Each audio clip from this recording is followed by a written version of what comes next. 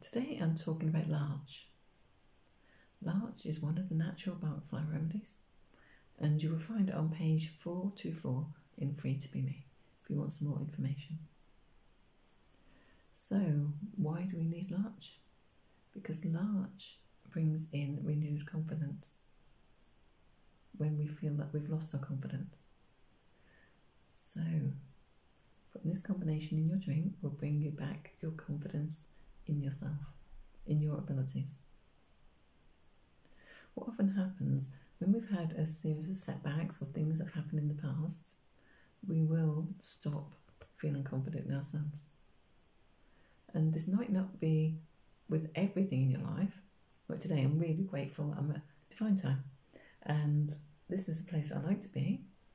I feel comfortable in my own skin. I feel happy with who I am, Myself. Uh, now, if you gave me a whole load of technology to sort out, or something on Facebook or on the computer, that often brings in that feeling of lack of confidence. And the lack of confidence often comes from things and setbacks that have happened in the past, where maybe you've come to believe that you can't have the confidence to do this, or you don't have the confidence.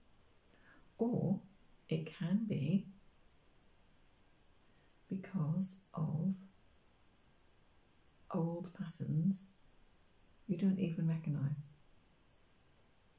So, has someone in the past told you that you're not good enough, that you're not clever enough, and you've taken that on board? Have you at some stage said, I'm not good enough, I'm not clever enough, I can't do this? And then your mind gets stuck in that pattern. So when you're going to step forward, this pattern surfaces. So Larch is for renewed confidence, brings in the ability to do things. Okay. It comes under the group of remedies, despondency and despair, simply because that's how you feel. And this feeling often comes when people say, I'm fed up with myself. They're not saying, I'm fed up with everything in life. They're saying, right now, I'm fed up that I can't do this. And this can actually be a catalyst for depression as well, and anxiety and stress. So it could start as a fear and then become a lack of confidence, or it become starts with the confidence issue, being out of balance, and then it becomes a fear. So Larch helps with your confidence, brings renewed confidence. It also brings in a feeling of being able to come, overcome